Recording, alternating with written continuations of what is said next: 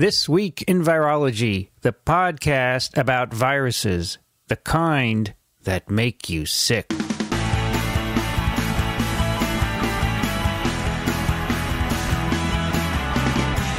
This Week in Virology, episode number 153, recorded October 13th, 2011. Hi, everyone. I'm Vincent Rackaniello, and you are listening to TWIV, the podcast all about viruses. Joining me today from Svalbard, no, not really, from North Central Florida, Rich Condit. Hi there. How you doing, Vincent? I thought you were in Svalbard. No, I'm not. I'm definitely not in Svalbard. I just love that name. That's cool. I love it, Svalbard. In fact, I first heard of it in a in a book I, I read to one of my kids years ago. Hmm. I think it was the Golden Compass and uh, Svalbard. And I didn't know it was a real place. Well, I was completely unfamiliar with the whole thing until this week. By the way, what we're talking about is a city in one of our stories today. We'll get to that. Right. Also joining us today, not from Svalbard, but from Western Massachusetts, is Alan Dove. Good to be here in relatively tropical Western Massachusetts, Yeah, relative to Svalbard. Svalbard. I bet you have cloudy skies today. We do, yes. It's amazing how your weather and ours is very similar. Oh, we're only about 100 miles Yeah, apart. we're not very far whatsoever. Good to have you both back today on a Thursday. We're doing some odd recording days to accommodate individual schedules. I don't know. I feel like when it's Monday, I have to get ready soon for TWIV when it's on a Thursday. Yeah, Uh, because ordinarily my TWIV cram night is Thursday night, and so Now it's I don't have many. Uh, I don't have many opportunities before that. So yeah, it kind of kind of rearranges the whole week for me. And then Friday, there's hmm. this big gap. it's empty. You go, oh wow, I don't have to do anything today. it's kind of cool. It's good to switch things around, A but little it, it's good to have a schedule though. Yes, we'll get back to it. So uh, we don't have one for TWIP because Dixon can't keep to a schedule, hmm. And as a consequence, we do fewer episodes. Alan, did you want to mention something before I we begin? did. Yeah, we started off uh, and we we talked a lot on the last episode. Um, well, a little bit anyway about uh, Steve Jobs, who had just died, and uh, I just saw the news today that somebody with a, um, I think, a bigger influence on technology died. Um, a lot of people have probably never heard of him, but I guarantee you've used his inventions. A fellow named Dennis Ritchie. Uh, crickets. Yeah, nobody's heard of him, but he he was um, the primary developer of the C programming language. And, that I've uh, heard of. Co-developer of the Unix operating system. That I've heard of. And even if you don't think that you use C and Unix, you do every day. Uh, if you use a cell phone, if you drive a modern car, if you use any kind of electronic device, all these embedded systems are are built with these two fundamental pieces of of technological Doesn't, architecture. Uh, doesn't the Mac OS have Unix the Mac? Mac operating system is uh, is pretty much straight up Unix with a little uh, little gloss applied to the surface. Um, and uh, and even the Windows operating system is extensively programmed in C, so you can't get away from Dennis's work. And uh, now he's gone. Yeah, maybe he and Steve Jobs will hang out now. Yeah, yeah. As they said on the uh, the Boing Boing site, um, uh, his process has terminated with exit code zero.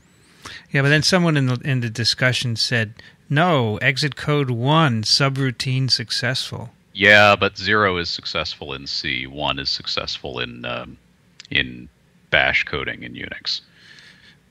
Okay, well, I'm not going to get into that Yeah, argument. that's, that's my understanding anyway. okay. Notable awards: the Turing Award and the National Medal of Technology. Yeah, A Turing deal. Award sounds cool, right? Known for Yeah. Altran B, BCPLC, Multics, and Unix. Wow. This fellow was a bit old, older than Steve Jobs. He was born in Yes. 1941.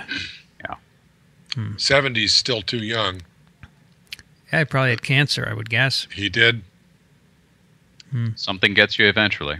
You know, we could Right. probably uh, note an important person every week passing Yeah, in various fields. The week before, um, Bob Weisberg, a phage virologist, had passed. Yeah. Probably not the same impact as Dennis Ritchie or Steve Jobs, but nevertheless within our fields important. Nice It guy. would, it would always start the show with a somber note, though. So I'm not sure we want to start doing that. Yeah, right. Did you know uh, Weisberg, Rich? I did. Really? So Uh, you, not well, but I uh, but I knew him. you were a phage guy? Is that why? Uh, partly because I was a phage guy. I think it goes back there. But my um, uh, I interacted with him. I spent.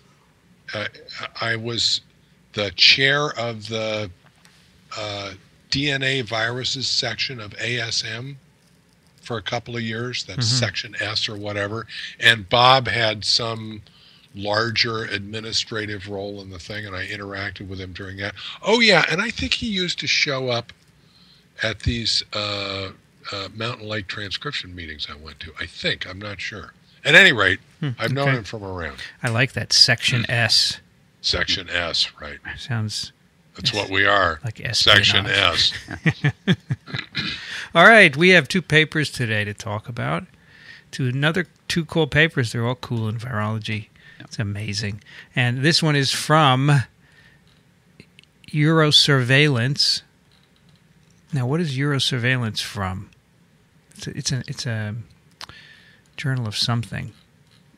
No, it's Eurosurveillance. I'm thinking of Emerging Infectious Diseases, which is a Right. journal of the CDC. All right, this is its own journal, Eurosurveillance.org. The title is Public Health Implications of an Outbreak of Rabies in Arctic Foxes and Reindeer in the Svalbard Archipelago, Norway, September 2011. This caught my eye. And it turns, Yeah. turns out to be an interesting story. Yes. This is on an island.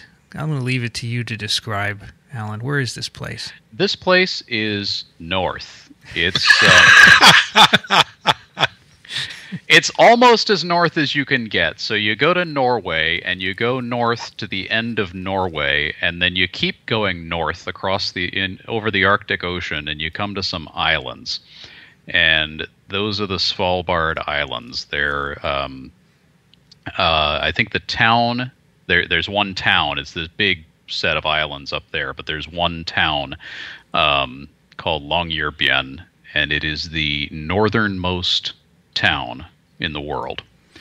Um, You sent us this this link to the Google Maps. It's just amazing. It is Yeah. Because if you click on it, we'll put it in the show notes. You know, you're in this snow covered thing, and then as you zoom out, you realize there's nothing. there's nothing. How far There's- north of Norway you are? Yeah, I didn't realize this archipelago was even up there. It's like No. halfway up Green Greenland. Yeah, yeah. It's it's just it's east of Greenland. It's north northeast of Iceland, north of Scandinavia. I mean, anything that involves north of Scandinavia, you know, you're you're deep into Yeah. the snow. Looks like the Right. the area is greater than that of Norway. I would guess. It's quite a Prob- large archipelago. Yeah, I'm not sure what projection they used for that map. So Yeah, it could be often altered, in the yeah. Arctic, you get a lot of distortion. So that's the setting for this outbreak of rabies, which happened. Um, in- Guess what? what's that? I just got uh, just for kicks. I put uh, a what? How, what Yo- Longyearbyen Mm-hmm. yeah. That's the city. into the Weather Channel. Yeah, what's the weather like? Tell us. Uh, right now, it's light snow and 25 degrees Centigrade. uh, Fahrenheit. Fahrenheit. It's cold. Uh, It's below and freezing. Yeah. So it wants to know if I want to add that to my saved guys. I think you ought to So- do that.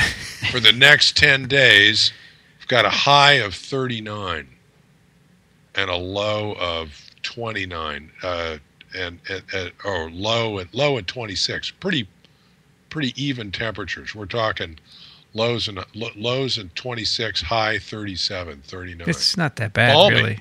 But that's, That's yeah, that's that's balmy, but it's mid October. yeah. I guess it Uh, gets very and cold. And, yeah, we got yeah, after snow, or after the sun cloudy. sets, and that's a place that's going to have a sunset, and then months later the sun will rise. um, cold. I'm sure it gets much colder. Well, when you hear about this paper, you're going to wonder how all this work was done. It's so bloody cold, but they do have buildings and heat and all that. So Well, and it's this is happening in September. yes, There's, when a, it's there's a recent event, so it's yes. comparatively warm. So in Uh, September, an Arctic fox attacked a woman in this city of Longyearbyen, which has 2,000 inhabitants on this island. And later the same day, the fox was most likely killed by a dog. And the, the fox was tested positive for rabies.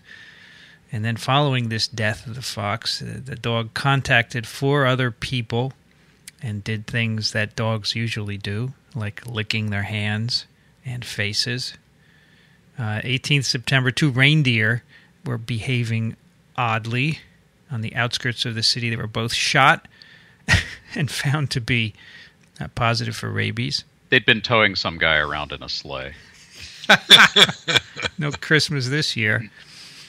Uh, three more carcasses of reindeer found later in the month tested positive for rabies. More reindeer and a second fox later on. A, a veritable outbreak of rabies. And they have a nice table here of all the table, all the in- animals. Two foxes and one, two, three, four, five, six, seven, eight reindeer. Eight reindeer, yes. Is So that how many? all uh, that's how many Santa has. Eight. Yes. Oh wow. this all happens in. Uh, they say okay. The population of this town is twenty five hundred. Right.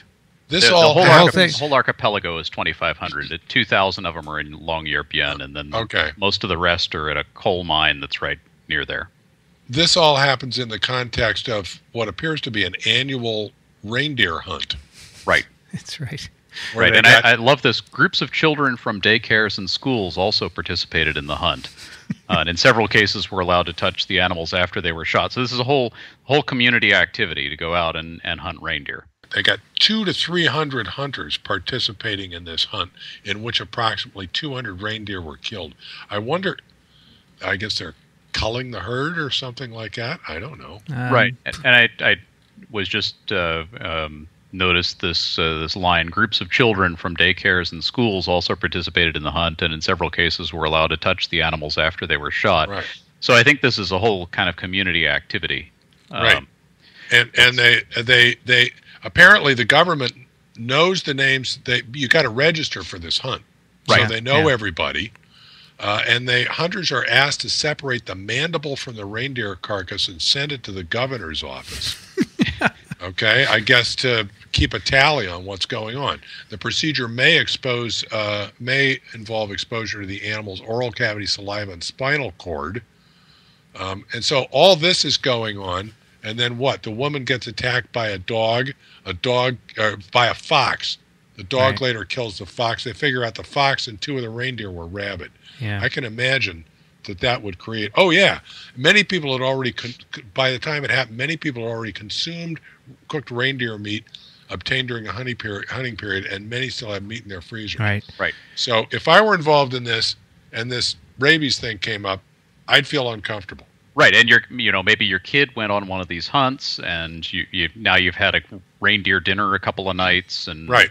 what's going on with this rabies thing? Yeah, because And- if you got the meat in your freezer and you don't suspect that it has rabies virus, you know, you take it out, you got cuts on your hand, you could get you're not going to get it by eating it, but you could get it on your hands and into a cut, right? And it's not like anybody's stupid about this. The government actually recommends rabies vaccinations for people who are going to participate in the hunt. Right, Right, right. right. They recommend it for anybody who's hunting or might have contact with wild Right. animals, which actually is that's a pretty good idea.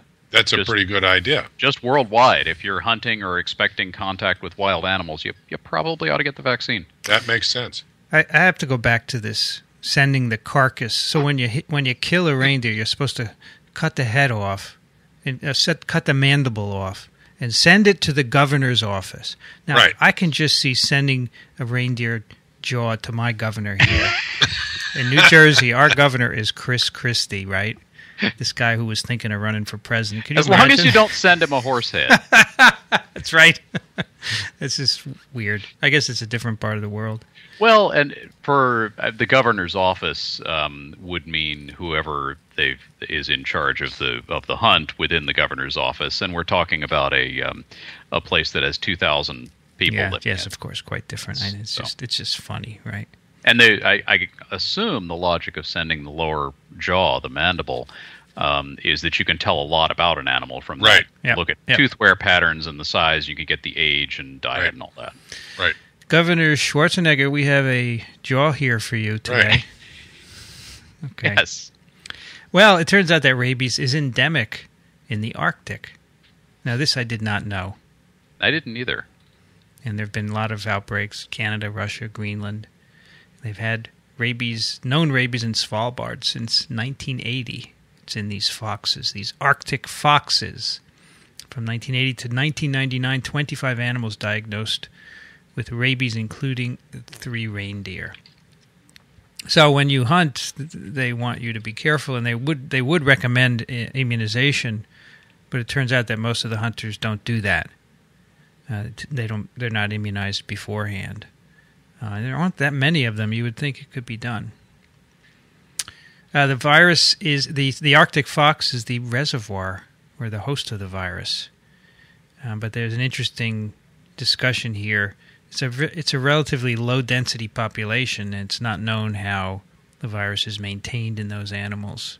Well, they have to get together sometime, otherwise you'd run out of Arctic foxes. That's right. It could be frozen somewhere.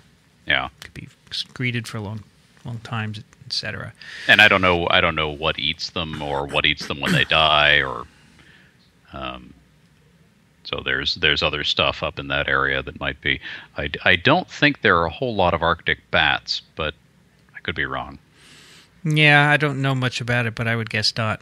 Uh, these viruses, of course, these are rabies viruses. They are enveloped, negative stranded RNA viruses, and they are generally transmitted by the bite or the saliva. So the virus replicates in the brain, the central nervous system, and it comes out in the saliva of rabid animals. So you'll be bitten by one, you acquire it. If you contact their saliva and it, it gets into a cut on you, it can also enter that way. So mainly saliva in a bite.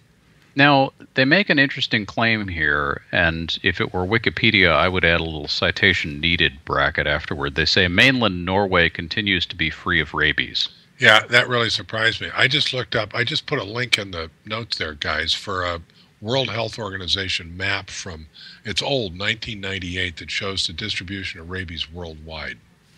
Okay? And they do they do indeed say that actually all of Scandinavia, according to this, is rabies free, hmm. as is apparently Australia. Uh, it looks like Japan. Uh, couple hmm. geez, looks like Spain and Iberia. and they have a right. separate they have a separate color on the map for no information. So rabies right. absent must mean that somebody has looked. Somebody's reported. Italy, Spain, Portugal, Great Britain, Ireland. Uh, that's that's more rabies absent than I would have predicted. I would have thought there would have been more of a distribution. That oh oh this is okay. I I now. Oh, this is animals and and I now do not believe this because if you look over in Southeast Asia, um, look at New Guinea. Uh, I guess this is what is this island just north of Australia? It's um, uh, New, New Ze- is that New Zealand? No, no, no, no, no, no. the south. Just north. Is that New Guinea, south. Papua New Guinea? I believe so. Yeah, I one that's so. divided in half between right. two different countries, yes. but it's an right. island. Okay. Ah, okay. They got it. Okay, left yeah. half has rabies in most areas. Right half has rabies absent. Right. That can't be right. That can't be right. That's a that's an island that's um, if I'm if I recall correctly, it's dense jungle. Right. And uh, the virus is not going to respect a border like that. Uh, yeah, it, there's a similar thing going on in Africa. I can't name the countries there, but oh yeah, is that um, is that Egypt? No, I don't think so. Is Egypt is to the right of that? Yeah, there's one, but you're right. North Africa, you've got a rabies absent next to one with rabies in most areas and one in, in limited areas. Uh, so there's uh, uh, some of these places may actually be rabies free. If I'm not mistaken, the UK is rabies free. I think that's that may actually be true. But some of this is going to be uh, reporting issues. And actually, same thing in Scandinavia. Right. It abuts it abuts Russia. Right. And the land masses come right together and You've got rabies in most areas in Russia, according to the WHO, and zero rabies in Scandinavia, and then you've got rabies up in the up in these islands that we're talking right. about in Svalbard, and I believe a lot of that water is frozen during the winter. Um, yeah, I find I find these statistics. I'm I'm not going to say that they're wrong, but just that they're pretty shocking if true. We, we, we likely have reporting issues. These Yes. are, this is an old. Um, It's an map old as well. map. Is there a- But- is there a newer one? Do you know? Uh, that's just what I came up with all of a sudden. Yeah. Okay. You know, So on a quick search. Ninety-eight. Um, but uh, uh, rabies, there's a lot of it around, Yeah. yeah, and it's not going away anytime soon. And as there's a lot of it in the U.S. Now we're talking about rabies in animals. There's a lot of right. it in Yes. the U.S. Well, in particular, India has a big problem. There are lots of uh, wild dogs running around. Yeah. So the interesting, yeah, the interesting thing is that in in uh, countries, in countries, developed countries where they have a good uh, animal vaccination program, uh, the reservoir for rabies is wild animals: skunks, foxes, raccoons, Yeah, bats. yeah.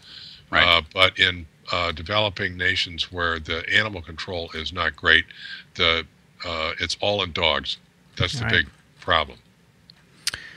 So the concern here was not only these individuals who'd been licked uh, by the dog, and the dog was put in quarantine and seems to be okay, um, but the people who had the meat in their freezers, they could acquire the virus by when they were cooking it, handling the meat, not by eating again, but by handling Right. it. So they, they instituted an immunization schedule uh, for uh, people who had been involved in the hunt, and they gave them uh, some rabies immunoglobulin, some antibody against the virus, plus uh, the vaccine.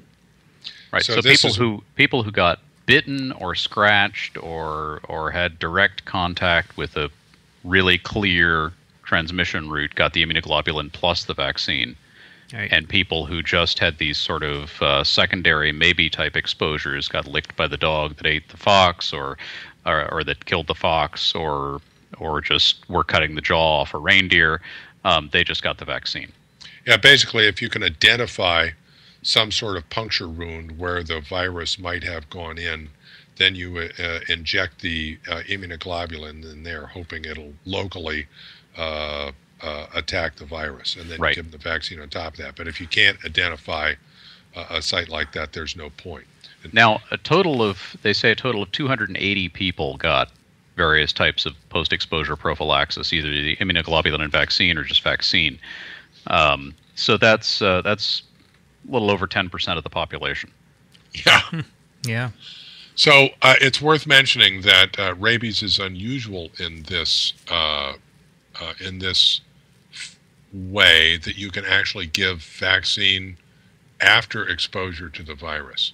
Right. And, and the reason for this is that it uh, it has a, a very long incubation period, and the incubation period can be, I suppose, as short as a couple of weeks or a month, but that's rare. It's usually a month or two, and can be long as a year or even longer.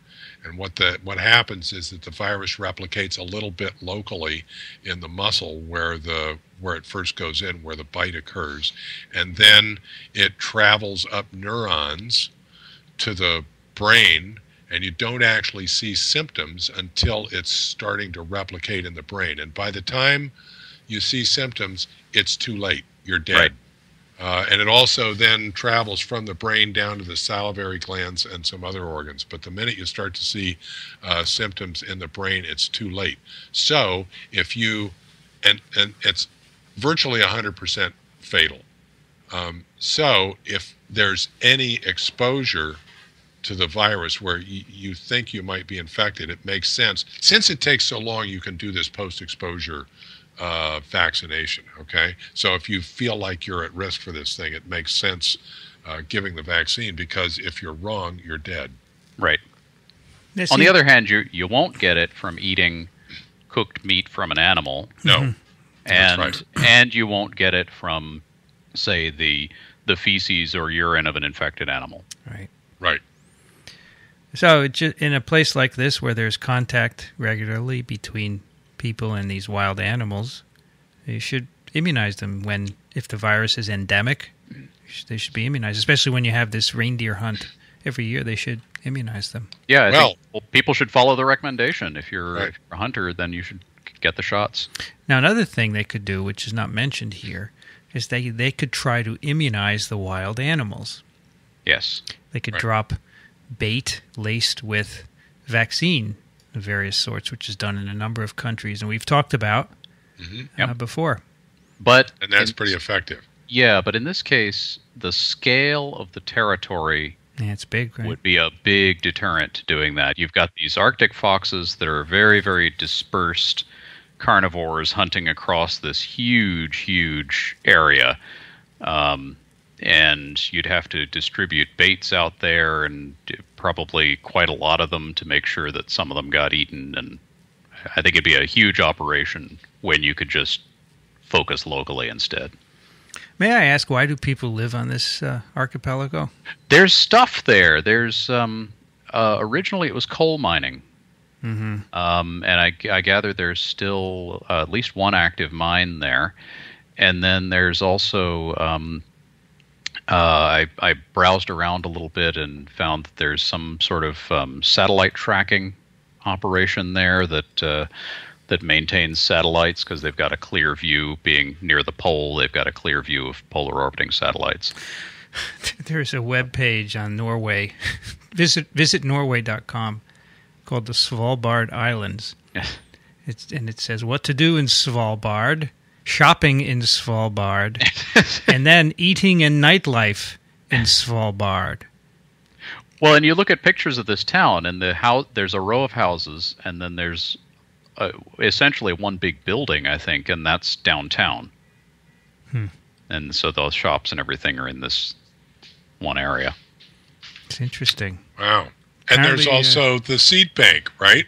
Yes, there's the Svalbard Global Seed Bank that they're. I guess. I, I guess that's open now. Um, and uh, the idea is to store seeds of, of all of the important plants of the world, um, in case something bad happens to the to the plants out in the wild. You know, the food plants that we use and all that. Um, we'd have an archive of, of seeds of them. Huh. The bill, And the bill Svalbard is a, is a sensible place. It's geologically Yeah. stable. Um, you don't have to pay for refrigeration, right? and uh, and so they've they've built this, uh, or they're building this big vault there to store Yeah, this- the world's. This yeah. wiki page that you found has a diagram of it and everything. It's very Yeah. cool. Well, there you go. If you're planning a vacation, check out Svalbard, but, But just get a rabies immunization get rabies first. if you're That's going to go hunting. yeah, if you're going to go on the reindeer hunt, Uh, they they conclude that you know uh, you know their main conclusion here is that you ought to get vaccinated if you're going to do this. Yep. Makes sense. Absolutely. Well, they've already vaccinated a lot of people that were involved in it uh, this year, so yes, they won't have many left over next year. Nobody got sick. right. Well, of course, Yes. it's uh, when this was was this? September, and this is October. recent, so recent, yeah. only been a September. We'll have to It's wait a bit. Yeah. Yep. We'll But keep an eye it'll be all right. Mm. There's actually, despite what something like seven to ten thousand reports of rabid animals a year in the U.S., there's only one or two cases of rabies a year. Yeah. So these uh, these precautions, the uh, ability to do the post-exposure uh, Mm. prophylaxis. First of all, the actual attacks by rabid animals probably aren't all that frequent, but the post-exposure prophylaxis is uh, is very effective. So you can this is something you can deal with. Of course, we have rabid raccoons here in Central Park, New York City. You do. Yeah, but uh, no, no incidents of transmission yet, at least in recent history. But they're uh, in many places. You have to be careful. Okay, that is our first paper. Our second story was suggested by Dirk, who said, uh, sent us this paper and wrote a prion that makes you go antiviral.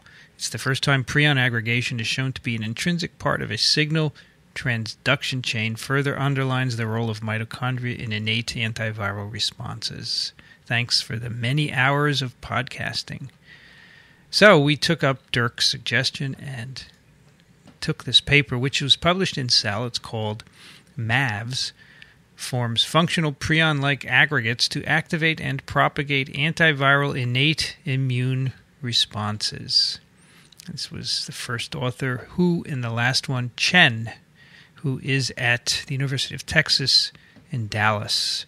And Chen's lab is well known for working on this protein. One of the one of the co-discoverers of MAVS, which also has many other names, including IPS1, Visa, and Cardiff. Visa, I like that one. Yeah. Credit card protein. Now, this paper involves two things, which we've talked about a little bit here on TWIV. Uh, one of them is innate immunity, and the other is prions. Puts them both together. So let's talk. Let's talk a little bit about innate immune defenses. So this protein is involved in the sensing of uh, viruses as foreign, and let me give you an example of what happens here when, say, an RNA virus infects a cell.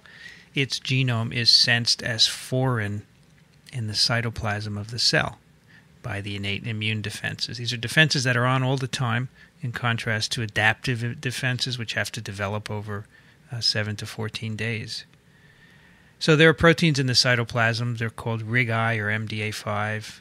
They are able to sense RNA as foreign. So, for example, uh, viral RNA typically is either double-stranded or has a 5' pho- triphosphate, and these are detected as foreign by these RIG-I-like proteins. Right. That uh, RIG-I proteins see features on the RNA that's not common to cellular RNA. Right. So the cellular So RNAs they- are there, like mRNAs. They're not detected, but Right. So they know this stuff is bad. it's not right. So they, when RIG-I and MDA5 detect these proteins, they become activated and they bind to this MAVS protein. We'll call it MAVS for the purpose of this discussion. Uh, and MAVS is, is located in the outer membrane of the mitochondrion. All right, so it's stuck in the outer mitochondrial membrane. And so RIG-I, when bound to a viral RNA, binds this MAVS protein, and that initiates a whole pathway of various events, including phosphorylation and activation. It's a very big signaling pathway, which leads to the phosphorylation of a couple of proteins called transcription factors. And those go in the nucleus and turn on the synthesis of cytokines, including interferons. Right. So this is a generic mechanism that the cell uses for a whole bunch of different viral attacks. Right. Right, and it's not doesn't necessarily discriminate one virus from another, and it has no memory of That's what's right. Right. happened. This distinguishes Yeah. it from the adaptive immune response, which actually uh, sees a virus and, and ultimately, effectively says, "Oh, this is flu." And I'm going to remember this so that next time it comes around, I'm going to squash it earlier. All right. Right. Innate This is- immunity says, "Hey, this looks kind of infectious. Let's get rid of us." Right. And this is the uh, there's a wave of this stuff that happens when you get infected. The innate response is the first thing that happens, and in fact, the some of the cytokines uh, turn on the adaptive response. Say, hey, we got a problem here, okay? And the adaptive response is is recruited to the uh, site of infection, and then the adaptive response takes over. Right, and this And is the- um, this is quick. this happens within minutes of infection. Right. Yeah. Right. And the the cytokines and stuff that are made basically go out and not only recruit a bunch of uh, other immune cells in the adaptive response to the site and turn all that on, but they uh, turn on this antiviral response in the neighboring cells as well. So there's this wave of warning and protection that goes out. And by the way, when you, you know, you get the flu or something like that, and you feel fever, malaise, you just drug out and awful. That's mostly this innate re- immune response going off. Yep. The uh, interferon. When I start feeling like that, I say, "Ah, great, Make an interferon. everything, everything's working." That's right. yeah. that's that's the body's bombing campaign before they deploy the snipers. That's right. Okay, so in this paper, they're studying this MAVS protein. Remember, it's a mitochondrial outer membrane of the mitochondrial bound protein. It has to be there for it to be active. If you take MAVS out of the mitochondria, and it doesn't work to, to participate in this signaling pathway leading to the production of these uh, cytokines. Now, the one previous um, observation that they have made uh, before is that uh, the um, RIG-I protein seems to be um, it seems to be important for this to bind what are called polyubiquitin chains. All right, the whole signaling pathway depends on RIG-I interacting with polyubiquitin. Now, ubiquitin is a smallish protein. I think it's about 8K Mm-hmm. in size, which um, has a variety of functions in cells. It, it can be attached to proteins to signal them to be degraded, for example. But in other cases, it's needed for the activity of protein. And they, you can make chains of ubiquitin. They're called polyubiquitin. And you need those for RIG-I to be active. So if RIG-I will sense RNA, but unless it's bound to these polyubiquitin chains, it doesn't turn on the subsequent uh, cytokine response that we've been talking about. So they're trying to figure that out. Why is that? And they began looking at MAVs, and that's that's where the story begins. They and they and they have this um, this cell free system that they use Yeah. to study it. So they're using most of the work is done here in in these cell extracts. So they've simplified the system in order to look at this thing. yeah, that makes it easy because you can add things readily and take things Right. away from it. So, should we review prions too as part of the introduction to this? Yeah, we could do that. Have we talked about prions before? Yeah, wasting. Uh, Yeah, wasting, Ah, that's wasting what is wasting away again, and no, chronic wasting disease. chronic wasting disease of cervids. Yep. How is the innate response and rack and yellow similar? Uh oh. They both have no memory. Not, not so good. Want me to cut it out? Uh, no, you no, you keep it there. You keep have- it It's, there. I have I mean, it's some a nice memory. try. I have some memory. I'm not Somebody Not might think it's funny. the, I'm not the jokester anyway. Um, yeah, we have talked about prions quite a bit here. Uh, Okay. this, and uh, we've gone the basic stuff, but we can review it again. Prions Well, are proteins yeah. that uh, everyone probably knows that they are associated with uh, um, with wasting diseases, not only in cervids but also in people, Creutzfeldt- Creutzfeldt-Jakob disease, and a variety of other um, TSEs. They're and mad cow disease in cattle. Mad cow disease was the one was the one that most people be familiar with. Right. Mad cow. Yeah, so these are Right, proteins. So these, these these are proteins that um, they they assume a particular conformation, and then they stimulate other proteins to assume that same conformation. And in the case of the these diseases, you get these um, these sort of filaments of protein that stick together and gum things up. Right. transmissible spongiform encephalopathies.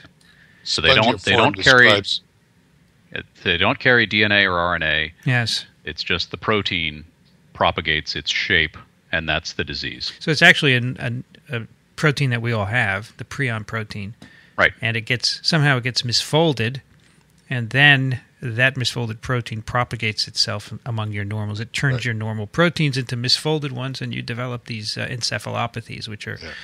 really bad neurological diseases and pretty much all fatal. and it works like a like a seed crystal or a catalyst. That's a good. That's a good analogy. A seed crystal. So a, a bad protein interacts with a good protein and makes that change shape into a bad protein, and on and on and on. Yeah. And it Right. propagates. And they and they all stick together in this filament. And this paper is a wonderful demonstration of it. It's it's it's just beautiful. If you take a pot of normal prion protein and you add a little bit of the misfolded one, it propagates that misfolding, Right. which is And an so- amazing thing, which we really don't understand. Yeah. And so biologically, they behave as if they're infectious because if you, uh, in the in the disease forms of these, because if you acquire one of these like uh, Creutzfeldt-Jakob or Kuru proteins, it um, changes your normal proteins and you get a disease. So that that looks like it's infectious, but it's not. It's not in the same. No nucleic acid involved or anything like that. Right. Right. So in this protein, they're in, they're studying uh, infection with Sendai virus, a an RNA virus, negative stranded, that is a really good inducer of interferon. So a lot of people use it for these kinds of studies. And they find they're looking at MAVs in a variety of ways, and they find these huge aggregates of the protein. One way you can do this is by uh, separating the protein on a sucrose gradient, for example, and then you can run it on a gel, and you can see, wow, the protein is running much higher than it should be. Um, so that's aggregates, much larger than a 26S proteasome, which is a very, very big complex uh, that's present in the cell. And these aggregates are are self propagating or self perpetuating. These are self perpetuating. Um, we, we, they can add a little bit of the aggregate to Right. fresh cells, and they will get a lot of it out So of it. they're, They- they're they- prion like. prion like they actually quantify it. There's a number. If you add one nanogram of misfolded MAVs or aggregated MAVs, it can convert 16 nanograms of uh, normal MAVs. It's quite interesting. So um, let's see. This paper is full of data. There's just a, an enormous amount of work here, and it's Yes. just beautiful. It's just beautiful. It's so well done. Now, one thing I thought was very interesting there's an inhibitor called geldenomycin. So, one of the target proteins of this pathway, in which MAVS is a member, is the phosphorylation of a protein called IRF3. And when that gets phosphorylated, it goes in the nucleus and turns on the synthesis of uh, interferons and other cytokines. And it's been known for a while that galdenomycin inhibits phosphorylation of IRF3. It turns out the way this drug works, it blocks these aggregates. Okay, so when you add gel- galdenomycin to cells, you don't find these aggregates. So they conclude that the mechanism is that you block the aggregates and that you need these aggregates for getting this signaling pathway from RIG-I detecting RNA to making interferons. Right.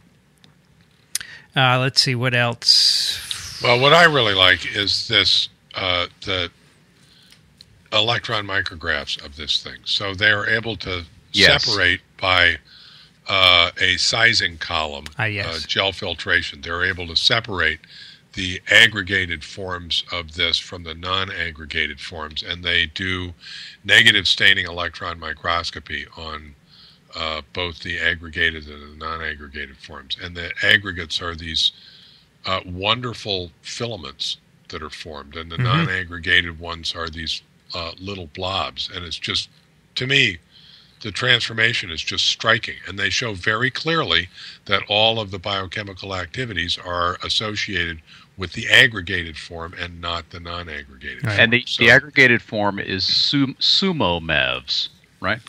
Well, that's they they cloned. What they did was they actually uh, purif- They uh, cloned this stuff in E. coli uh, because they wanted a, a a recombinant form that they could deal with. Yeah. Uh, and but it, it's such a um, a difficult protein to work with that they had to trim it down. They had to throw away some domains that were not necessary for the activities, and then they had to uh, couple it to a protein called sumo, which is one of these sort of chaperone-like proteins Right. uh, from eukaryotic cells. Uh, and so the recombinant form they call sumo mavs. Right. Yeah, it was kind of a fortuitous finding that this made it soluble so they could Mhm. study it. Yeah, which which highlights highlights. I mean, the reason I brought that up is it, it highlights how hard this stuff is. Yeah, yeah. It's, it's e- every every one of these experiments was this was not something you dash off in an afternoon. No. Nope. So yes, they do these recon- these studies as as Alan mentioned, where they add uh, a little bit of these fibrils to solution, and they watch the conversion of everything else. So they say um, it's uh, it's like a prion a prion like conformational switch. Yeah. You add one protein, it converts the others, and the fibers that Rich mentioned that they see by EM are very much like the prion protein fibrils that you see as They well. even have a nice EM that compares the two side by side. Yep. Yeah. The MAVs and the prion. Yeah, they have that in there as a control. It's very nice. So they do a lot of experiments showing that you need to have the mitochondria uh, for this to happen, for the whole signaling to occur. You need the aggregation. They have this wonderful model in the end where you have your your rig-I detecting viral RNA, uh, and then it becomes associated with you polyubiquitin, and that is needed to bind the MAVS protein on the mitochondria, and then to stimulate its association into these uh, multimers or or uh, high molecular weight assemblies. And then after that, those assemblies propagate that change to the other MAVS proteins, and Right. that amplifies the signal. Right. Right. And that recruits that in the aggregated form, it recruits a couple of other signaling molecules, which then ultimately uh, propagate the signal to IRF3 and turn on the interferon Yeah. response. And this is all inst- and this is not causing a disease. This is all in the service of stopping a disease. yeah. Right. So the way they say it is that you have a small, you have a little bit of viral RNA present, and then it gets amplified by this uh, aggregation of MAVs. You have a very rapid propagation of these aggregates, which amplifies the signal, and it makes sense because you're responding very quickly to an infection. Right. So, one thing that's always puzzled me about some of this stuff uh, is why is this happening on mitochondria? Yeah. You know, there's Yeah. uh, there's a lot of apoptosis functions that involve mitochondrial membrane proteins, uh, or even s- like cytochrome C from the inside of mitochondria. And uh, I don't. I, I'm wondering if there's. I- I suppose this is a biological why question. We're not supposed to ask that, right? Well, there's no answer. Right, because why why did mitochondria become specialized for for for these death functions? Right. In a way, it kind of makes sense because they are the respiration center. Right. and and so uh, maybe that makes sense. I can't quite make the connection uh, completely, but Or I've it may always- just it, it may just have been that in the early case of indigestion that led to the the mitochondria getting into a eukaryotic cell. Um, they just happened to bring in proteins that were useful for this sort of thing. The That other were that were potentially useful for this sort of thing. the other thing that strikes me about this is that although it's really cool and you know elegant, and it's, in particular with the amplification because of the association, it's one of these pathways is just enormously baroque. Yes. I, I, I, I just, if I were going to do it, I wouldn't do it this way. Okay, Yet another it's- argument against intelligent design. right? exactly. This is something that was built by a bureaucracy. Yes. All right, it's just kind of, well, we'll try this. No, no, no, no, don't do that. Try this. And wow, I got here first. You know, Evo- evolution is generally additive. Yeah. Yeah. Well, there is a reason crazy. why it's complicated, right? There must be, and we just don't know it. Well, I don't know about that. I there's a reason. that- I think the reason that it got complicated was that it's easier for evolution to add functions than to take them away. that makes sense to me. And then the reason it persists is because it's good enough. yeah, it works. And look- Works I mean, look, okay. you look at this pathway, you have, you know, 15, 20 different steps. Yeah. My view is that makes it flexible. You can regulate it in various ways that maybe we don't know about. But it's There's but it's not necessarily not necessarily true that it is regulated at all of those levels. Well, we don't know. There's a tremendous amount of redundancy in biology. There's, it's also the also the case that at each of these steps there's an opportunity for amplification. Yes. And so, but but so- each of those steps also brings up an opportunity for error. So, in general, in biology, are all pathways complex? No, I don't think so. to name a pathway where you have one step and that's it. Now you're really putting us on the spot. Well, I don't mean to trip you up, but I just want to know if you know. y- y- It's an interesting idea that you have there about the way this evolved. You would think that would apply to all pathways, but I suspect there are simpler ones than this. For sure, there are. Uh, yeah, well, I'm trying to think of uh, in. Um, There might be simpler ones that accomplish simpler things. Well, this is turning on a, a set of proteins, right? Which is relatively simple. I mean, if you look at the way the interferons turn on interferon stimulated genes, that's far less complex. You Yeah. have a receptor which activates uh, a few proteins by phosphorylation, they go in the nucleus. And here you have all this intervening stuff. And, but you can build it simpler, and the interferon stimulated pathway shows that. Right. So this is just uh, evolution got out of hand. It got out of control. But you I don't, think so. You don't need it this way, right? That's what you're saying. yeah, Yeah, I- but we obviously we don't have enough information to say for sure, but I I think there are plenty of structures in biology that you can look at and say, you know, that is not the most efficient way to do things. Right. It would be interesting to look back uh, and see in other organisms wh- what this pathway looks like. hmm And how if it. If it, how has it evolved? Is it simpler or as complex? I don't know that that's been done. These are mostly done in mammalian uh, Yeah, and systems. and I think I think what we're looking at here is the discovery of of another signal amplification strategy. You know, you have these complex phosphorylation cascades, for example, where A phosphorylates B phosphorylates C, and you get down to Y phosphorylates Z that actually does the work. and as as Rich said, that provides a lot of room for amplification. Uh, it provides um, room for for more input and other signals to regulate it. Um, this this type of aggregation as a signal propagator could be another strategy for doing the same thing because it's a way to amplify a signal. Yeah. Now it's worth it's worth mentioning at this point that prions have previously been shown not necessarily to be pathogenic. So the most right. the first ones discovered were the prions that cause disease, but in yeast and other organisms, it's been shown that there are many genes with prion like properties similar right. to MAVs that we have here. And these are proteins that have memories, just like this one. They can make another protein fold in the same way. And it's thought that in general they allow an organism to switch between different states. So, in yeast, for example, for rapid adaptation to some stress, a protein could quickly uh, give rise to other proteins like it and allow the, the yeast to do that. Mm. Right. Now, the, the, person who has discovered that is Susan Lindquist. Yes. Uh, and there are lots of wonderful papers that she's written about this in yeast. And our friend Mark Pelletier over at Futures in Biotech has two different podcasts with her, which we'll link to. Now, the um, the other interesting thing here to me is these these normal biological processes, not the pathogenic ones, but the normal ones, obviously have to be reversible.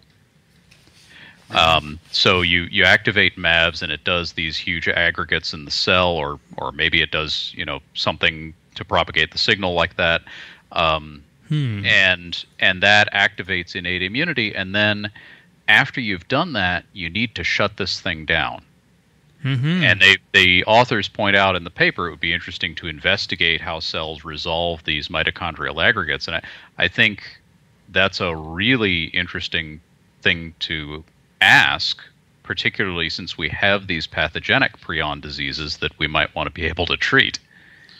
Right, and these uh, these aggregates are notoriously uh, resistant to all sorts of insults. Like the way you isolate prions is to take a, a cell lysate and basically boil it in SDS and treat it with proteases and do all sorts of nasty things to it and the only thing that's left is prions.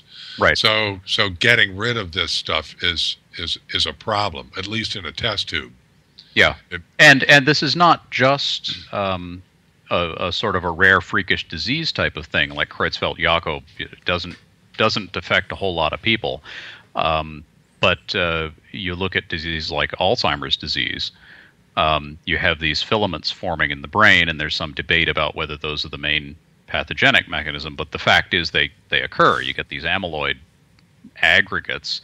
Um, so it's another case where you have aggregates forming as part of a pathogenic process. If we can figure out how these MAVs reverse their aggregation, we might be able to get at some of those mm-hmm. problems yeah. too. Uh, in yeast, there are known mechanisms for uh, removing the prions when they're no okay. longer needed, and maybe we can get cues from that mm-hmm. as well. Because yeah, in, in the diseases in in these encephalopathies, they don't go away. That's part of the problem. Right. And that is something we don't know about MAVs. That's a good point. Yeah. This reminds me of the history of oncogenes, where we discovered viral oncogenes, viruses that caused caused cancer, and they carried genes that did that, identified the genes, and then it turned out that those were uh, actually cellular genes that had been copped by the viruses and uh, perhaps mutated in a fashion that uh, caused the problem. And then you look at the cellular genes and you find out that these are genes that are uh, critical for normal cellular growth control. So, similarly, we first learn about prions as disease agents uh, gone bad, and then you have a closer look and you find out that they're normal cellular proteins that yep, uh, sure. have a number of regulatory processes in the cells. You know, Rich, I, I'm starting to feel the same way about viruses. Okay. they were first discovered ah. and studied because they cause disease, right? Right. First in plants and then in animals. But I'm beginning to think they're just another way for diversity to emerge. Yeah, as a matter of Yeah. fact, one of the picks this week, or one of the letters has to do with this the notion of viruses driving evolution, for example. You know, something goes wrong now and then they cause disease, but for them, I bet in the end we're going to see for the most part, uh, most of the viruses aren't aren't all that bad. Right. In which case, we will have to change the tagline for TWIV, but by then it'll be too late.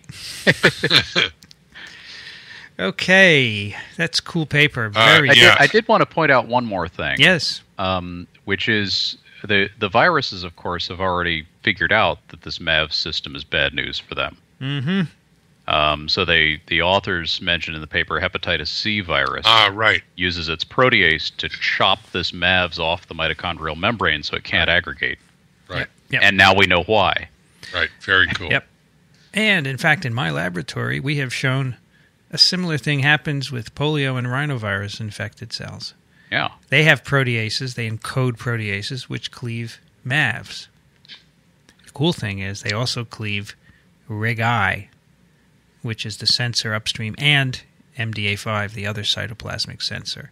So they really trash this whole pathway. Cool. Cool. Interesting. So thanks, Dirk, for a great suggestion, and congratulations to the authors on this paper. It's a beautiful Yes. paper. Yes, very nicely done. Yeah, this fellow was here last Wednesday giving a seminar. Oh, is that right?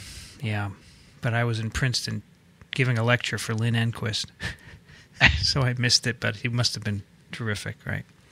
Probably talked about this. All right, let's do a few emails. Over on facebook.com slash this week in virology, Dylan wrote, greatest podcast ever, along with Twim and Twip. I just wanted to mention that. Thank you, Dylan. Oh shucks. Greatest podcast ever. Great. Also, similar t- comments over on iTunes. A lot of people really like them, so thanks. Now, last week, you remember we talked about viruses in the effluence of society. Yes. We had a few questions. I sent them over to Jim Peepus, who's one of the co authors on that paper, and he had some an- answers. So, one, the geographic breakdown, which we lamented that they hadn't separated out the viruses into three different locations. The data can be broken down by location if you download table S2. It is in the last column. We didn't discuss the data by location because for this paper we took a single sample from each site. Thus, this is a snapshot of viral diversity at the moment the sample was taken. As we indicate in equation 1, the probability of detecting a given virus is dictated by a number of time dependent variables. For example, climate or time of season might be expected to impact the number of a specific type of virus present. We felt that to make conclusions about location, we would need to collect many more samples under a number of different conditions. We are doing this now. All right, so there you go. Yep. Two, I'm not sure why we didn't see any negative strand RNA viruses or poliovirus. There are three possibilities that we are testing. One is that the method of virion enrichment, in this case flocculation, did not capture these particular viruses. The second is that they are present below our limits of detection, that is, we need to sequence deeper. We know that there are viruses present in the samples detected by PCR that we do not detect by sequencing. The final, final formal possibility is that these viruses are not present in our samples. I will let you know what we find. And three, how many species of hosts? The number eight, 1.8 million does include bacteria, but clearly this is a serious underestimate. I too have seen that this number is likely to be rise to 8 million, but I have not seen this published in a journal yet. We decided to go with the published number. I agree with you that there are many more bacterial species that await discovery, and that means many, many, many more viruses. yeah. Yep. Thanks, Jim. That's good. Thank you. Clarifies some of that stuff. Next one is from Michael, who writes in TWIV 151 at about 5440. Alan says that the general lifestyle of macrophages, which do kind of make a living this way, they go around eating stuff that's not supposed to be in the bloodstream. I couldn't help but catch this error. Alan, it was my understanding from my basic immunology course that macrophages are monocytes while in circulation, and it is not until they have left the bloodstream into tissues that they mature into macrophages. That was my understanding from my immunology course too, which was a while ago. P.S. Alan, I greatly enjoy your input as a writer. Cool. Does that Just mean not as not as an immunologist. it's a funny So yeah, yeah, I screwed that up. Okay, thank but you, the Michael. basic the basic idea is is the same. The Yeah. macrophages go around and they eat stuff that isn't supposed to be in there. yeah, we often um, use macrophages very liberally, Yes. Yeah. but this is what we mean. But we I get be, all these. I get all these immune cells all mixed up. We should be you know? clearer. It's complicated. There are so darn many of them. All right, the next one is from Jamie. This is in response to also something we talked about last time. We had a question from someone about whether you could get infections from a soccer pitch, which is a field on which you play soccer, or football, depending on where you're from. Hello, gentlemen and Alan. wow. Mm, Don't know. I think you're a gentleman. I wanted to bring to your attention the numerous dangers of pitches or fields, especially ones that aren't as well kept as the professionals. My fiance plays rugby. The field is not only home to rugby games, but it serves as a temporary home to plenty of wildlife. By wildlife, I mean Canada geese. The field sees many flocks of geese who are not potty trained. The public also allows their canine companions to run and excrete on the field. Our one home game last fall, after extensive rain, the field was very soft. Unfortunately, the field had a hidden slab of concrete about four inches below the surface. My fiance launched himself to tackle his opponent, and his knee sank more than four inches right at the corner of that concrete slab. You're allowed to tackle people in soccer? Yeah, Oh, rugby. I, I think. It's I think the only rule is you can't kill them if they don't This- have the this is ball. rugby, dude. This is rugby. This is rugby. Ah, rugby, right? Sparing the gory details, he was taken by ambulance to hospital where the emergency department decided the wound was too deep to be cleaned while he was conscious. The doctor that performed his initial surgery cultured the wound and gave him IV antibiotics overnight. The laceration was stapled shut, no drain, and the bandage was instructed to be removed in five days. When the bandages were removed, the area was swollen, tender, and red coloration extended up his thigh almost to his groin. By the next day, my fiance had a high fever and went to the doctor's office where the original doctor's partner sent him immediately back to hospital. Original cultures were never finished. Secondary cultures showed gram positive and gram negative bacteria, and the majority of what was cultured came from fecal material. IV antibiotics were not enough to knock out the infection. He was subjected to four more surgeries, lost part of his patella, stayed another 10 days in hospital. He will never be without pain in that knee again, not because of the accident, but because of the secondary infection. How? I know this would be more appropriate for TWIM, but I wanted to let the TWIV team know what dangers are on our fields. Thanks. Hope I don't gross you out with the pictures. Let me know if you want the video of them cleaning it out with just sub Q analgesics. No thanks. No, thank you. the stills are enough. There's a reason I didn't go into medicine. Thank you. yeah, We have a couple Really? of pictures of this very big gash, yeah, not good. stapled shut, very red. Mom, Not my uh, my uh, advice is don't play rugby, but I understand that some people like it. Well, you know, my reaction to this was, I wonder if this is going to keep him off the rugby field. You know, it sounds like he, you know, sustained some serious, long-lasting Yeah, injury to his knee. I hope he can still play. So this these uh these casual fields I guess are very dirty. Uh, and Yep. these geese, yeah, they're all over the place, and they uh, they they uh, foul the fields. But the professional fields are probably kept much cleaner, right? Maybe, but I at the don't same- know. At the same time, well, I mean, you can't control. Probably can't walk geese your have. dog on them. Yeah, you probably can't walk your dog on the professional fields, but at the same time, there's there's a lot of overlap between what what doctors refer to as fecal bacteria and what we would think of as soil bacteria. Yeah, I mean, the fact is that there's bugs everywhere. Yeah. You know, So if you get dirt in a wound deep down, that's bad news, right? and it doesn't specifically have to be fecal. I mean, what's our old quote from from Dixon from somebody else about the uh, there's a X feet of covering the earth. That's right. There's Yep. a thin layer covering the earth. That's right. All right, let's. Detri- Uh, detritus is what it is. Yes. You know, it's Yeah. all it's just home for bugs. All right. I thought the geese and the dogs don't help. I'm sure. No. well, anyway, it's a good point because we were Yep. talking about him picking up an intestinal infection, and here this is actually another danger that we didn't think about. Yes. Um, why don't we share some email? Rich, why don't you read the next one? It's from Okay. Tim. Tim writes, Dear Vince, Rich, and Virology podcasters, thanks for the great podcast. I am a beginner in the world of science, biology, and dare I say, virology. I returned to school two years ago as a 38 year old truck driver and am seeking a bachelor's in science. Good for you. Excellent. I would like to enter the, not there's anything wrong with being a truck driver, but good for you. Yeah. I would like to enter the f- medical field in some way and find your podcast to be highly stimulating. I have been listening to your virology podcast in addition to your virology class lecture, lectures from Columbia for about a year now, and I find it increasingly interesting. It takes me about four times per lecture to grasp a lot of the info, but I'm not giving up. Listen to that, boy. I want this guy in my class. Um, one of the things I learned was that for a virus to be successful, it needs three important parts entry into a host cell, replication, and it needs to release out of the cell. Recently, I read information on how the influenza virus can be affected by drugs that can indirectly inhibit the release of new virus particles. And I have a couple of questions. I am interested to know more about the effects of the antiviral medications amantadine and rimantadine on reducing the severity of the influenza virus.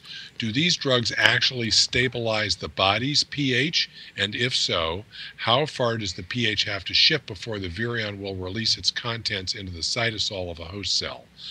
There are also drugs, oseltamivir and zanamivir, which uh, affect both A and B types of influenza by blocking the glycoprotein neuraminidase so the new virus particles cannot be released. How well do these drugs work? And if they do, why are they, uh, why are they not more well known?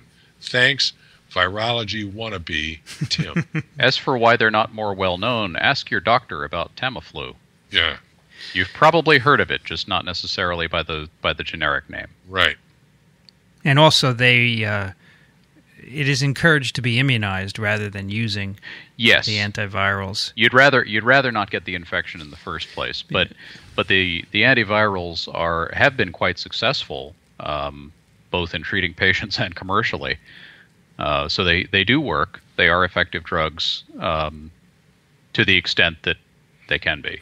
And of course, the more you use them, the more you will get resistance. So Yes. that's why it's And there's to this minimize fair them. amount of natural resist- resistance to amantadine and rimantadine. Right. Um, So Now, the my, uh, my understanding is that these are um, these are uncoded. Amantadine and rimantadine are uncoding inhibitors that um, yes, keep the virus from getting out of the endosome. Right. yeah. So these drugs actually block the ion channel in the virus particle. Okay, which is made up of the M2 protein. The virus gets into the endosome. Ordinarily, the virus gets into the endosome. Uh, fix me if I'm wrong here, but I think I got this right. And as a natural function of the endosome, there's a lowering of the pH inside the endosome. So this Correct. is a uh, it's a fairly dramatic effect in the endosome. It's a couple of pH units. Between five, Uh, five and six, I think. Right. Yeah. So Right. so but it's just in the endosome inside the cell. but Right, it's just in the endosome inside the cell. And what happens is that uh, th- the uh, hydrogen ions can go through this ion channel into the into the particle, and so that reduces the pH in the particle, and that causes a huge uh, r- uh, conformational change in the influenza uh, fusion protein, the hemagglutinin, to expose the fusion part of that, which then fuses with the endosome and dumps the nucleocapsid into the cytoplasm. right. Have So I got all normally, that right? right. I think so. So the low pH in the endosome causes this fusion activation of the HA. Right. So and normally- that's normally the dependent cell- on this. But the Sorry. M2 doesn't have anything to do with that. The, Uh, the M2 doesn't? acidifies the interior, which then releases the ribonucleoprotein from the interior of the particle once, Okay. once the membranes fuse. Ah, okay. Okay. So low pH in the endosome, the HA catalyzes fusion. So now Okay. the viral membrane is, is fused with the endosome. But then you still have this RNP stuck on the viral membrane. If the pH had not been lowered inside the particle, these would remain stuck there. Okay. But since the pH has lowered, the RNP floats out. Right. So the, the cell, drug- the cell takes the virus in, and uh, when it takes stuff in, it pretty much eats it by acidifying the endosome. But the virus is smarter than that. It relies on that acidification to to get into the cell. So that's what, and the acidification inside the virus is what the amantadine is stopping. Yeah, that's right. Right. It is, And yeah. so it doesn't actually do anything to the body's pH or anything like that. It just has to do with uh, a, a slight local uh, channeling of the pH of the of the hydrogen ions that is malfunctioned uh, Right. in the presence of the drug, so that um, so that you can't completely uncoat the virus. Yeah, those um, were among the first antivirals discovered in the 60s. Amantadine and rimantadine. Right. But we got a lot of resistance to them now, and you can't use them against every every uh, influenza type. So neuraminidase, that is a uh, viral membrane protein that cleaves sialic acid from uh, glycolipids and glycoproteins, which always struck me as being counterintuitive because sialic acid is in fact the receptor for the virus. So, on the one hand, the hemagglutinin binds to sialic acid to attach to cells. On the other hand, you got this other thing, neuraminidase, that is cleaving the sialic acid off of cells, so it would be effectively destroying receptors. But as, if I understand it correctly, the the usefulness of this is that once the cell uh, re, uh, once the virus buds from the cell, it can be stuck on the surface of the cell because the hemagglutinin is still binding these uh, sialic acid uh, residues. But if the neuraminidase then shaves those off, it releases the virus from the cell completely. So the neuraminidase promotes spread of the virus, and a, neuramin, a neuraminidase inhibitor would then uh, uh, prevent spread and have an antiviral effect. Have I got that all right? Mhm. Okay, You got it. good. And I think he wants to know how well do these drugs work. Uh, they they work pretty. They're not hundred percent effective, um, and, and of course it depends on the study that you look at. Um, there have been some ec- efficacy studies show thirty to forty percent reduction in symptoms, but if you look at mortality, uh, treatment results in reduction between 60 to 90 percent in mortality rates in uh, in some studies. So they're pretty good. If you don't have uh, immunization and you have a, an outbreak in a susceptible population, they're useful. You'd want to use them prophylactically, right? Well, the problem is that you have to take them within 24 hours of first symptoms, 24 Right. to 48 hours, right? Timing is very, very important. Yeah. Pa- Past two days, they're not going to work. Right. So you got to catch it, and that's not often easy because, you know, during the flu flu season, basically, if you have flu-like symptoms, they'll give you these without even knowing if you have flu, and you could have some other virus infection. That's why if you're doing efficacy studies, you have to make sure that uh, individuals are infected with with influenza virus. Right.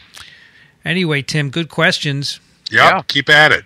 And um, I will refer you to lecture number five in my course to learn more about what we just told you today.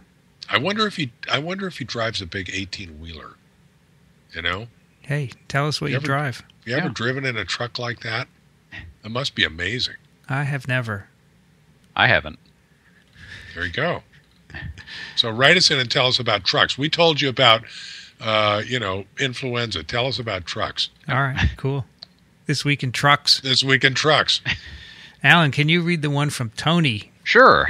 Tony writes, Hi, Twivers. You're probably bored with hearing this by now, but you guys are great. I'm no, not bored. Tony, we're not the least bit bored with that. I never get bored of that. Congratulations on the great job of making virology accessible to the masses. We're not as dumb as television and the newspapers would lead you to believe. I've been listening since just after you started podcasting, and I've been meaning to email you for about two years. I've got a lot of questions saved up. Feel free to stop reading at any point.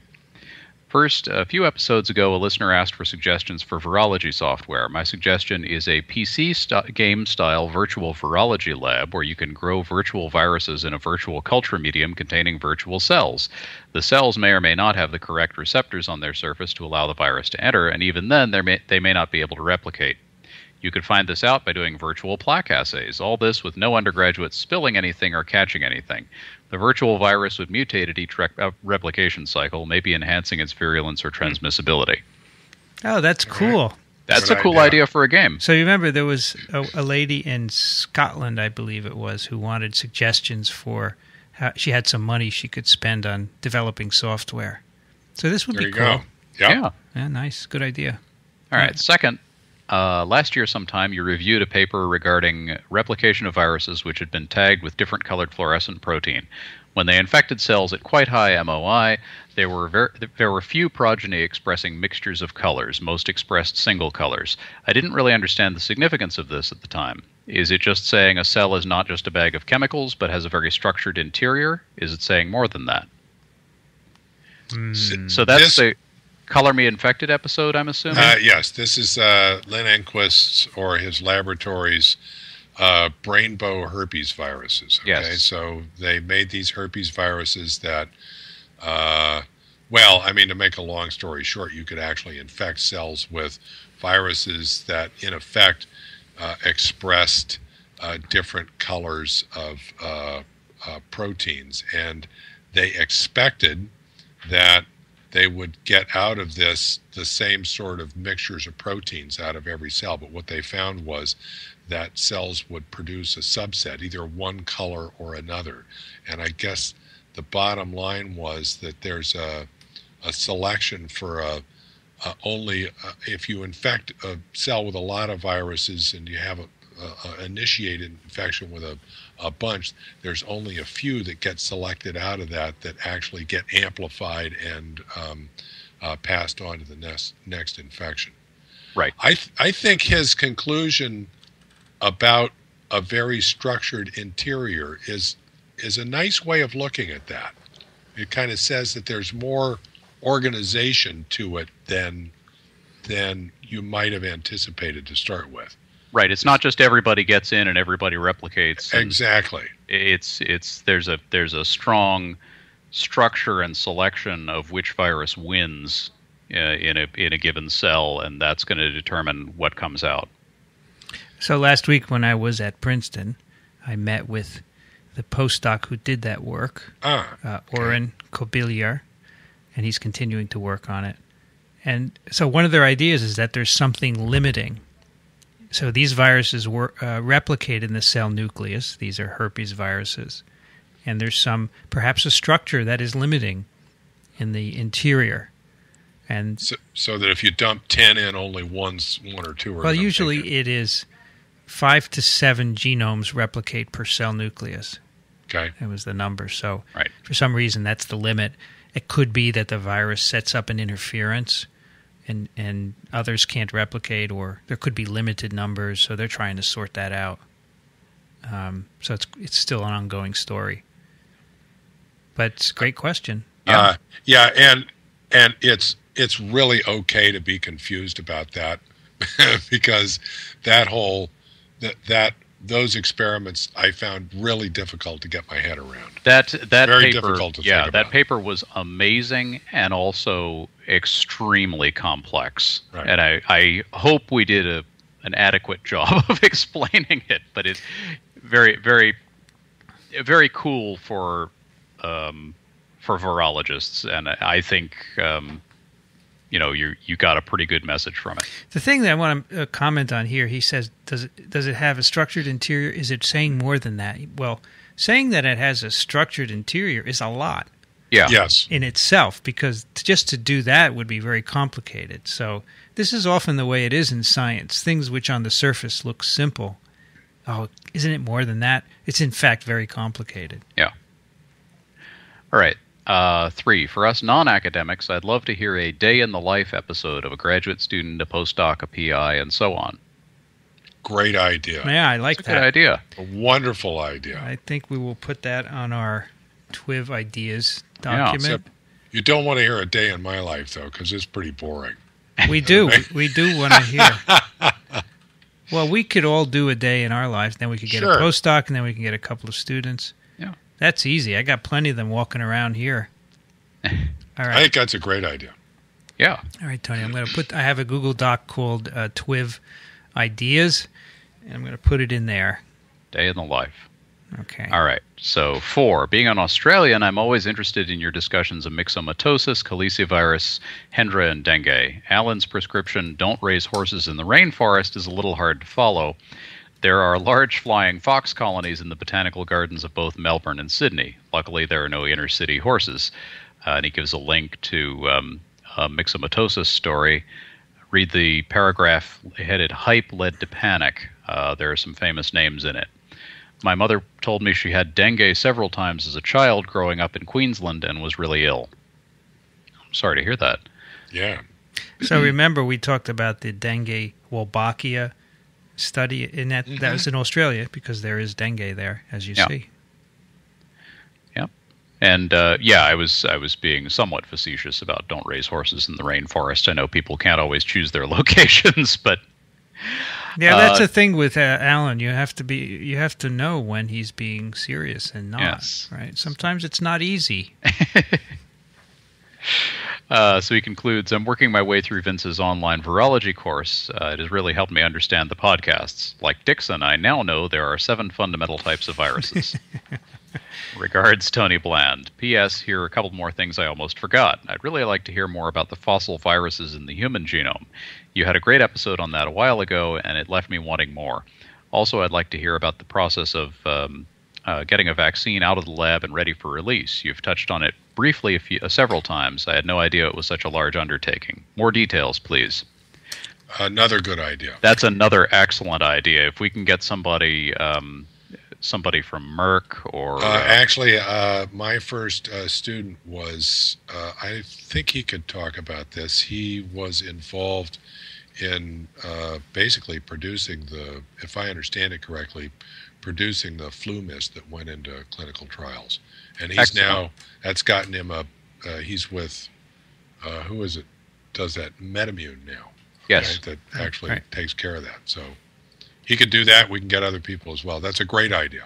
yeah, I'm pretty familiar with the process just from covering it a lot. But if we we should get somebody who is in the industry and uh, Somebody who actually did it. and and has done it.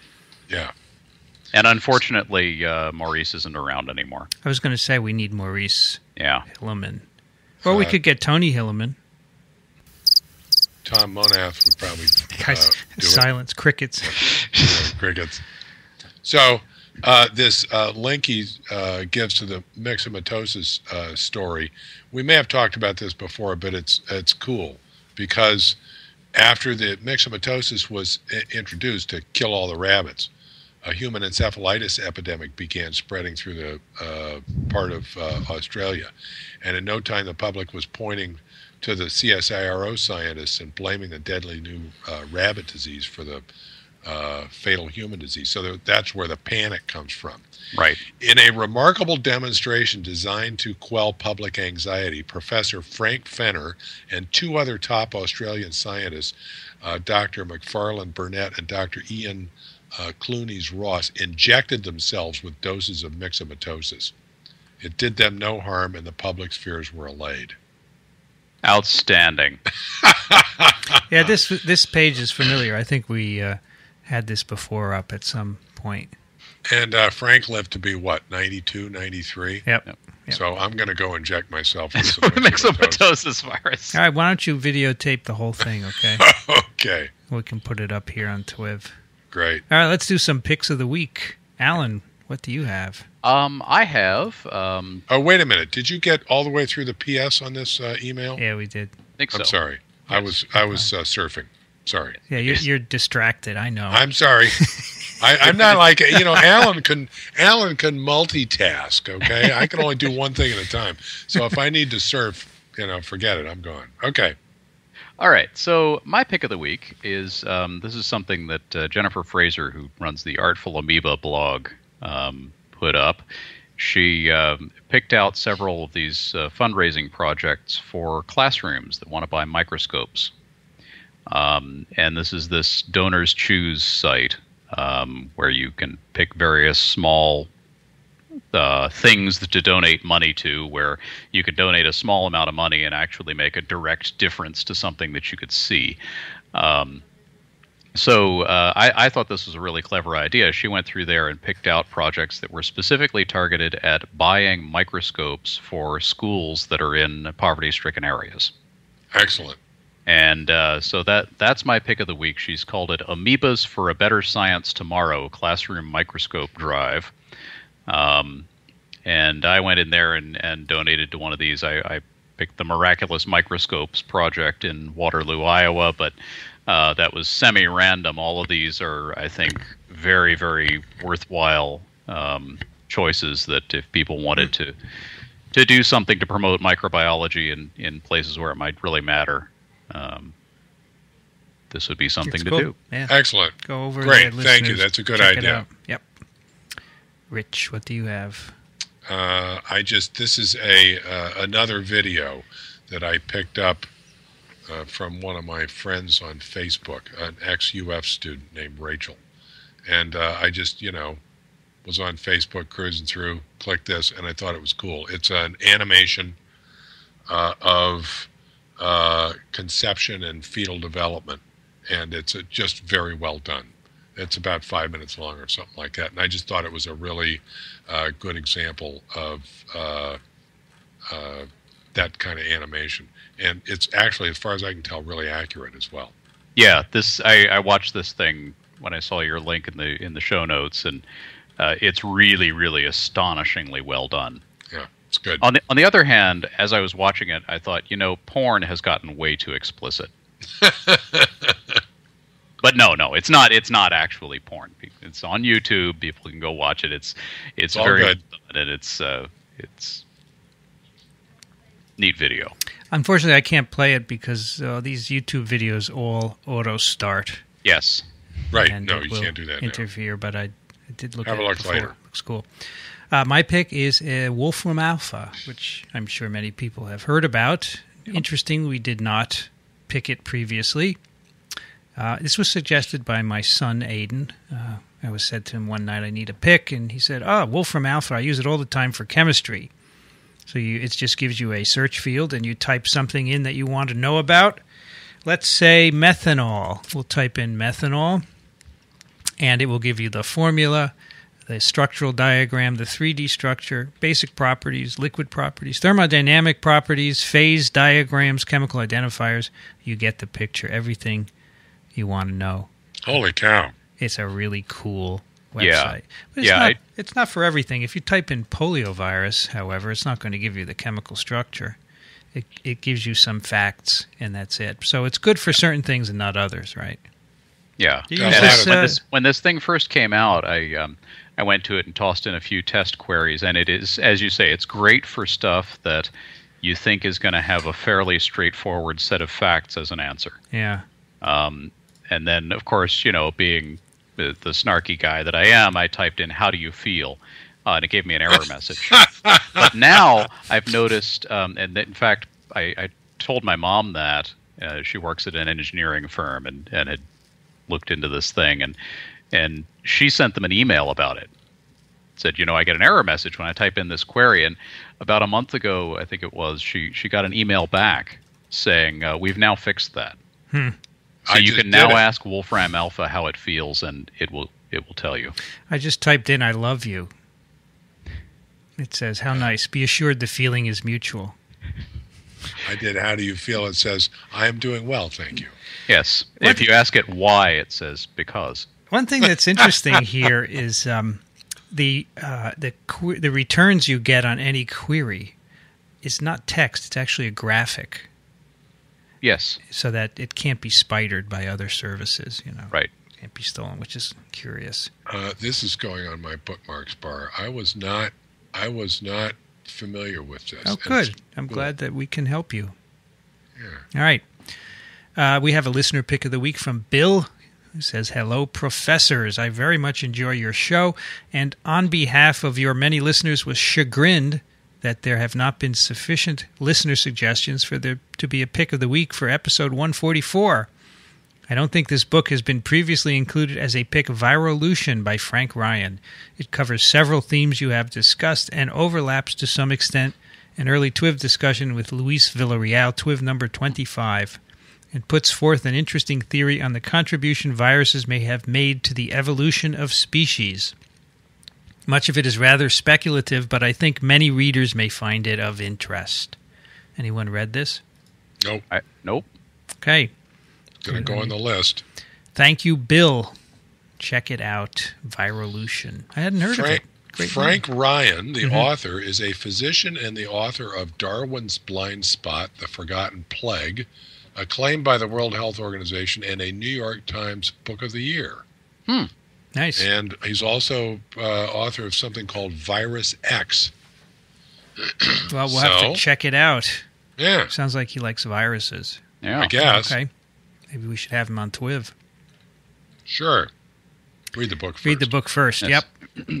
and that will do it for Twiv. You can find us at the iTunes podcast directory, the Zune Marketplace at microbeworld.org. If you're new to Twiv, go over to iTunes and do leave a comment. That helps us to stay on the front page. And there are over 170 comments, which is really great. It's more than most podcasts, and that's why we're always on the top of the lists in, in iTunes. And that's one way you can help us uh, to stay on top so more people discover us. There's also an app for your iPhone or Android device. You can get that at microbeworld.org slash app. Do send us your questions and comments. We love them. Twiv at twiv.tv. And don't forget our Facebook fan page, facebook.com slash this week in virology. Rich Condit is at the University of Florida, Gainesville. Thank you, Rich. You're quite welcome. Always, always a pleasure. Always fun. I agree. And Yep, it's a gas. Good, good having you guys with us. Alan Dove is at alandove.com. Thank you, Alan. Always a hoot. I didn't know you were snarky. That's how you describe yourself. Uh, sometimes, yes. Rich, are you snarky? Uh, I don't even know what snarky is. Uh, guess I kinda know what's sarcastic and uh, No, I don't think I'm really snarky. And uh, I'm Vincent Racaniello. I don't think I am snarky. Nah. You can find me at virology.ws. You've been listening to This Week in Virology.